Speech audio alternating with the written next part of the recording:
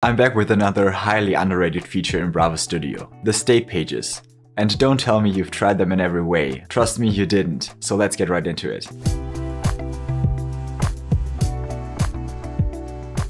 I'm going to start off by explaining what state pages are, and for that we're going to have to have a look at APIs first. Next, we're going to have a look at the actual Bravo tags that we can insert into our Figma file. And after that, we're going to import that into Bravo, of course. Because it can be tricky to see if the state pages are working correctly, this video has its own test section. And we're going to finish off by having a look at some sample use cases to give you some inspiration. An API always returns a status code, and that status code is a three-digit number. There are tons of these statuses out there. A nice website to give you an overlook would be http.cat. We're not going to work through all of them, but it's useful to know some common numbers. For example, 200 is a perfectly fine request.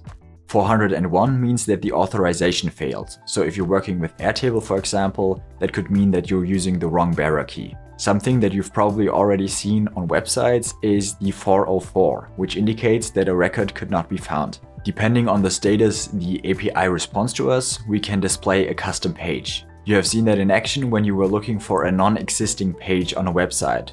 Then you get a 404 displayed, no matter what page you were looking for. So to sum up, the state page tags in Bravo allow us to define different pages for certain events. Those events are defined by the status of the response we get from the API. Let's go ahead and implement the tags into Figma. This won't be too complicated because the magic happens in Bravo automatically. The tag consists of three parts. State, being the tag name, then the actual state, and a name. We're going to start off by adding the default tag to our default page. Now it's important to choose a name. This name represents a group of different page states. In this example, we're going to call it list request. The name doesn't really matter. The only important thing is that you choose the same name for all of these state pages. Only if the name is exactly the same, Bravo will know which pages to group together. Next, we're going to add the tag for the empty state to our empty state page.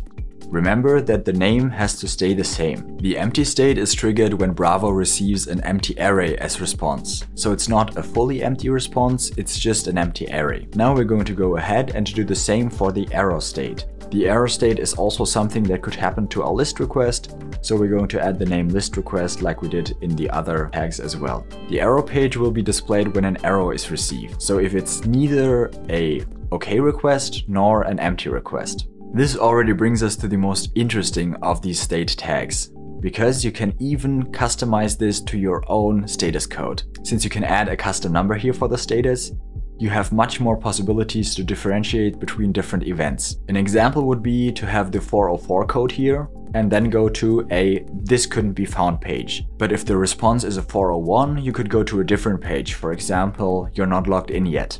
Maybe you can already tell where I'm going with this. When you can control those status codes, you can send the user to whatever you like based on a condition. And that's exactly why we have an inspiration section here at the end of the video.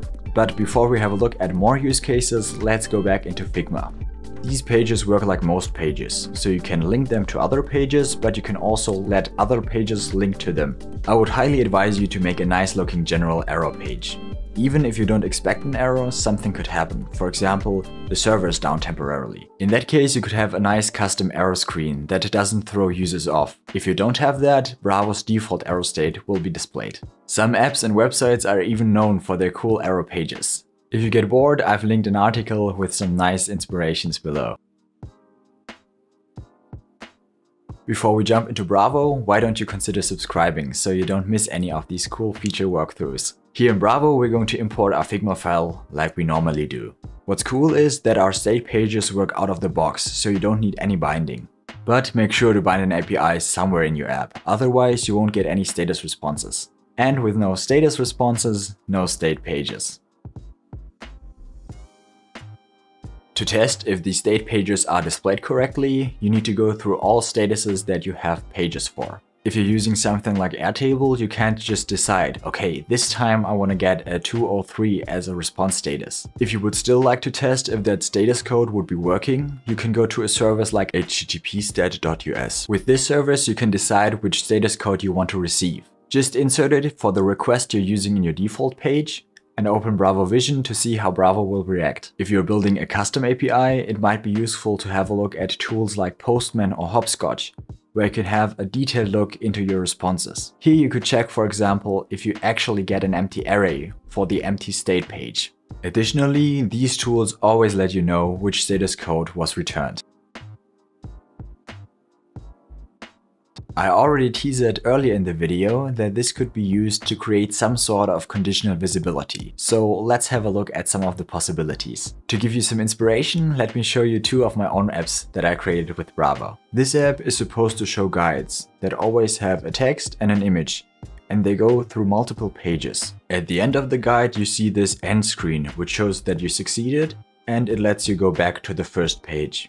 The guides all have different lengths that means that I don't know if the end screen will be displayed after the 6th page or after the 12th page. This is why I'm checking on every page if there's still a page to the guide.